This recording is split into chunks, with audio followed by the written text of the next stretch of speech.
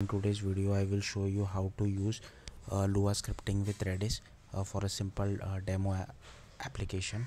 So uh, inside our next.js app so we have already defined this in the redis.js uh, file right? I have converted it to a ts file. Just change the extension no big deal. So if you are using node redis you would have to do something like this. You would have to define scripts.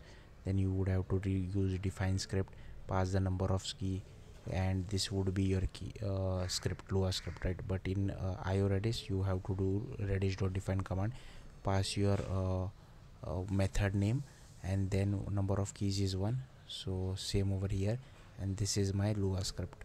So here you can see i'm i am setting something but i need the key for it. And in the value i'm just using one plus whatever argument the user is passing. So here we are defining a module for it so i'm defined the same method name. I'm taking a key i'm passing an argument and this would be the callback for it. And i'm just calling redis dot add one and store. Books colon count this is the key this is the value and this is our result. So i'm printing out the result. And i'm getting the value back just to check what exactly is the value.